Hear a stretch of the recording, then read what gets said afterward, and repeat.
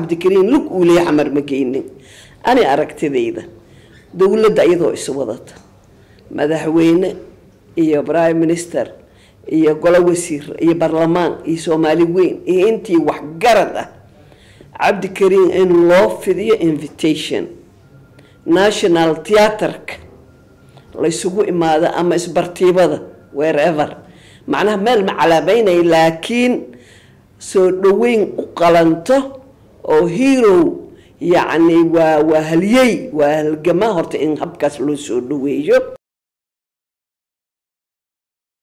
waxaa maanta shir jaraa'id ku qabtay magaalada nairobi caasimadda dalka kenya. Saddex ka mid ahaa wasiiradii xukuumaddii xasan cali khayre kuwaasi oo ka soo horjeestay go'aankii golaha wasiirada ee markaasi ay ku ansixiyeen in cabdikariim sheekh muuse qalbi dhagax loo gacangeliyo dowladdii xilligaasi ka talinaysay dalka ethoobiya islamarkaana ururka uu ka tirsanaa ee onelef lagu daray liiska argixisada.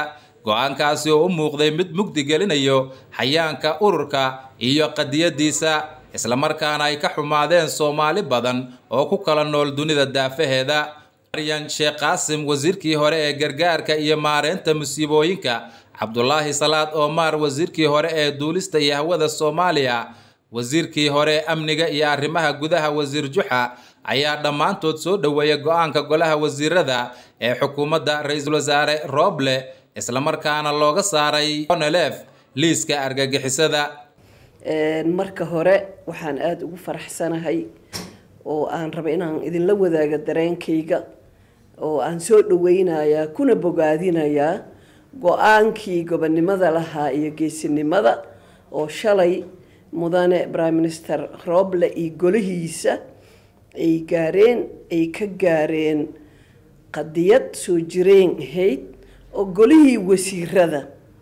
Aniga iyo wasiir juxa oo ag fadhiya iyo wasiir omar aan ka wada tirsaneen kaasoo go'aan gunnimo leh oo yacni wax aada looga xumaado ah oon wax horay u dhacay taariikhda soomaaliyeed aan ahayn waxaan fadhinay meeshii lagu go'aamiyey maalinkaas in nin halgamaa ah oo halyey ah oo ciidankii soomaaliyeed ka tirsanaa oo u soo halgamay dhulkii naga maqnaa seven seven iyo eighty three eighty four dagaaladii ka soo qeyb galay maalintaas in lagu suntay inuu yahay argagixiso ee jabhaddii ama ururkii onelef oo ahaa wixii yaraa oo ka harayba rajadii soomaalida. Kolley annaga aragtideena iyo sidiina ku soo barbaariyey. In jabhaddii iyada ahayd in maxay ahayd lagu suntay inay tahay urur argagixiso ah. Maalintaas aada baan uga xumaanay dareenkeennana waa ka muujinay maalintii iyada ahayd. Dee wax laga aamusi karana ma ay ahayn. Sababtoo ah oo nelaf caalamkao dhan baa xafiisya oga furnaa. Bal soomaalidii kula dhalatay ha ku dhahdo argagixiso waxay ahayd labageeriyaad marka taas waxay ahayd maalin madow laakiinse waxaa istaagay oo ka dhiidhiyey shacabkii soomaaliyeed oo dhan. Meel walbay joogeen meel walbay caalamka ka joogeen. Sidaasi la eg waxaa ka dhiidhiyey barlamaankii oo uu hogaaminayay mudane jawaari oo iyagana kaalin fiican ka qaatay. Aniga aadaan uga xumaaday yacni qalbi dhagax wuxuu ahaa nin af libaax ku dhacay. Isma lahayn qalbi baa soo bixi doona. Oona lefna waxay ku sugnayd waa wada ogeyn oo iska itaal darnayd laakiin waxay ahayd xaq u dirir. Xaqana sidiisaba haddii la daba taagan yahay mar unbuu miro dhalaa. Marka adduunka marka laga taga muslimnimo iyo soomaalinimoba laga taga caalamka waxaa jira xeerar.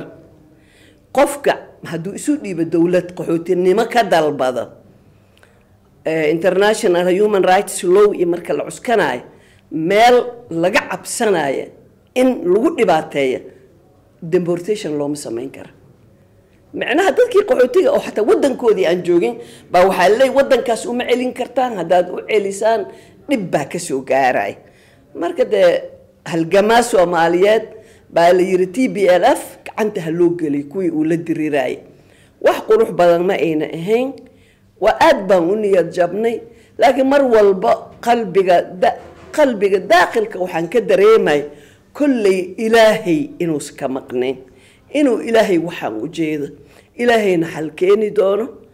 Wixiiba wax ka dhow sanad kadib mise gudihiisa etoobiyadii baaba isbeddel ka dhacay. Ilaahay wuxuuba xugmiyey oona laftii annaga argagixisada aan ku saxiixnay in liiskii laga saaray oo loo aqoonsaday inay ka soo qayb gasho ama xisbi ha noqoto ama siday doonto laakiin yacni onlf in laga saaray liiskii. Mar haddii laga saarayna dee qalbi dhagaxna waa la soo daaye yacni waxay ahayd fiiri ilaahay cilmigiisa qeybka ah ma naqaano. Maalintii saas u madoobay maalintan kalea noo bedeshay anu qalbi dhagax sidii loo soo daayay hal mar baan la kulmay. Liannu kayska ma ahin qalbi dhagax. Waa qadiyad waa dhul waa dad haddee siyaasad hadda way isbedeli kartaa oo waxaa la dhihi karaa si silmi ah baa wax lagu raadinayo laakiin annaga waagii aan yaryarayn iyo wixiina laku soo barbaariyey dhulkaas iyo dhulalka kale oo naga maqnaa waxay ahayd wixii aan aaminsanayn dhul naga maqan iyo dad soomaaliyeed. Qofka soomaaliga ahna meel walbuu caalamka ka joogo okay shantaan laleey waa shan soomaali in la kala qaybiyey hal soomaaliyaan u aragnay. Marka walilaahi alxamdu horta qalbi dhagax waa la soo daayay. Waxaa kaloo aada aan oga xumaanay qalbi dhagax dembiilanimaa lagu sheegay. Anigu wixii aan weydiiyey waxaa kama xitaa hadduu dembiil yahay in case soomaaliya waxay leedahay xeer xeerka ciqaabta la dhaho. De qofka dembiilaha kaasba waa lagu qaadi karaa maalintii waxaan ku yidhi barnaamijka xataa tiirka gey iskoola buluusiye laakiin maxaa loo dhiibayaa? Taasna waxay ahayd ma ogtahay wax. Marka ma aha kayska qalbi dhagax qalbi dhagax waa qof. Kuman kun baa u dhimatay qadiyadda dhiig u daadisay. Kuwaa jeelasha meqasana ku jiray. Isaga qadiyadaas buu qeyb ka ahaa. Waana qadiyad soo jirtay oon annagana aan aaminsanayn. Marka alxamdulilah marxaladaas waa ku faraxnay waa la soo daayay onalf waa laga saaray etoobiyadii way ictiraaftay waxba waxbay soo socotee haddana waatana marxalad kale oo tii ka sii farxad badan lianno golihii wasiirada maanta because bermadow bay ahayd. Inkastoo barlamaankii hadlay soomaali oo dhan hadashay laakiin kabinetkii oo warkii uu ka soo baxay in warkaas la bedelo uu qurux badnaa.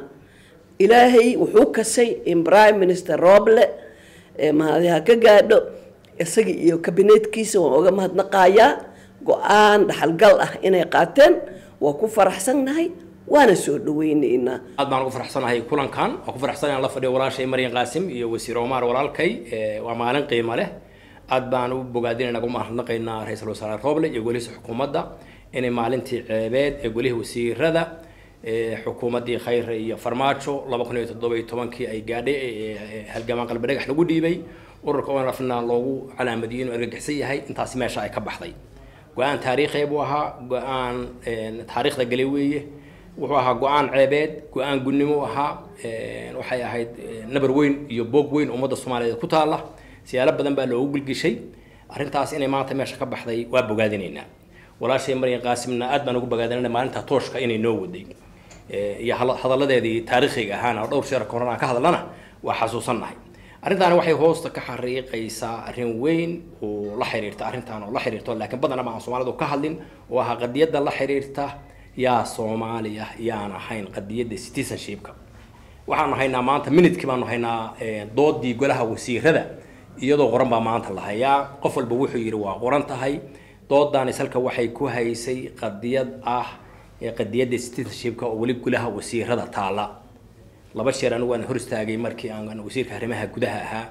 Cududaarkii la doonayay ninkaan in lagu sheego inuusan soomaali ahayn loo cuskanayay laguna doodayay. Qadiyadaasi horta halkaas iyadoona salka ay ku haysaa waxay kaloo salka ku haysaa arrintan waxa weyn oo soomaalidu tahay.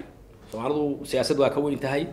Calan kasta ha hoos joogto dowlad kasta ha joogto laakiin soomaalinimada iyo siyaasaddu waa laba waxoo kala gedisan marka wuxuu ahaa go'aangunimo ah lagu degdegay taariikhdana muujinaya khalad kasta oo la galo maalintiisa in laga daba tegayo. Raadkii la daba soconayo. Maanta waxaa la gudboon madaxweyne farmaajo oo weli xafiiska sii jooga ra'iisul wasaare khayre oo shalayba arrintan dirqinayay in ay ummadda soomaaliyeed hor yimaadaan. Magdhow siiyaan dadkii ay u gafeen cududaar weydiistaan dadka soomaalidana ka hor wareegaan waayo tana khiyaamay ahayd. Aad ba umahadsantihin badi waan iska warhaynay laakiin alxamdulilah maanta inaan saddexdeeni halkan ku kulanno. Waxaan ahayn dad runtii golahan iskula jira qadiyadana aada isugu bartay. Ayaan ahayn minuteskii oo meetingkaasi wuu yaalaa intii shalay laga sheegay golaha wasiirada ayaan maalintaasi ka sheegnaa wuu qoran yahay hadallada xasuusta leh wasiir maryan ay maalintaa ku hadashay waxaa ka mid ahaa xuduudihii miyaa la bedelay dhulalka dariskeenna ah ma laga saaray soomaaliya? Miyaan aqoonsan. Wasiir juxa sidoo kale ayuu isagana arrimahaasi oga dhiidhiyey saddexdeenne iyo dad kale oo iyagana codkooda nagu biiriyey maalintaasi way arkayeen in go'aankaasi uu khalad yahay. Saddexdeennaba uma aanan codaynin shirkaasi wixii ka soo baxay uma aanan codaynin. Waan ka soo horjeedsanay qoraaladiina waa la hayaa. Waxaa xusid midan qadiyadda sida ay wasiiraddii iyo wasiirkaba u sheegeen waxay kaga duwaneed qadiyadihii hore ee dhici jiray waxyaabo badan.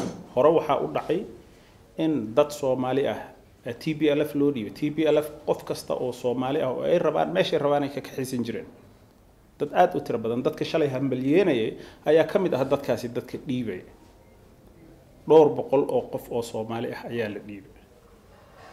Dadkaasi magacyadooda iyo meelaha ay kala joogeen dhammaantood waan haynaa.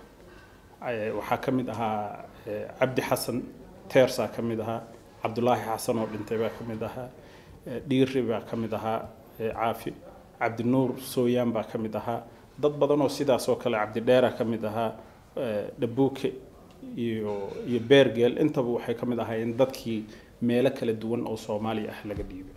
Qadiyadaha sidan oo kale ahna qadiyado la siyaasadeyn kara ma aha. Waa masiirkeena wey ummadda soomaaliyeed masiirkeeda wey intii shalay dhiibtay bashiir makhtal garaad bashiir makhtal wuxuu ka mid ahaa dadkii etoobiya loo dhiibay oo etoobiya lafta gacanta loo geliyay.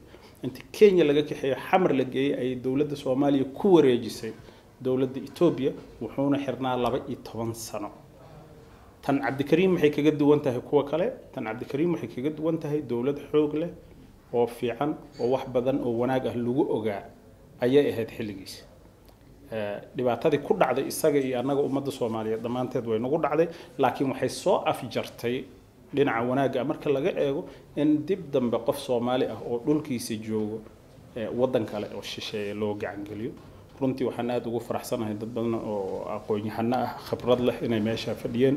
Dad badan ayaa ka dooday sheegay hataa qaarkood sheegay in procedureka uu khaldanaa sidii loo dhiibay ee khaldaneed. Soomaalina way nala aragtay inuu go'aankaasi khaldanaa. Waxaa nasiib darre ahayd inay qaadato ilaa iyo maanta in laga hadlo. Baarlamaanku wuu ka hadlay.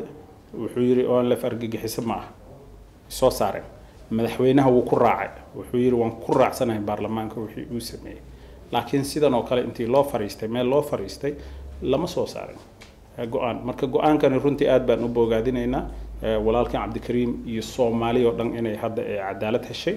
Wax badanna aan ka barano khaladku wuu dhacaa. Wasiir marin baa xalay sheegtay qof aan ilaahay ka ahaynba khaladku ka dhacaa. Khalad wuu dhacay muddoy qaadatay laakiin runtii in la soco oo in argagixisaad ay ku ahayd shirka golaha wasiirada qalbiga soomaalida iyo dadkeena dhexdiisa kama ahayn argagixiso marnaba kama ahayn. Markii uu shirkaasi dhacay kadib oo argagixisaa loo aqoonsaday la yidhi guddoomiyaha onlf waan la kulmay shirka onlf waan kaga qayb galay canada marka uma arkeenin annaga soomaali ahaan in ay arrintaas saxayd laakiin waddanka ayaa waxaa haystay t b l f dhibaato badan waddanka u geysatay.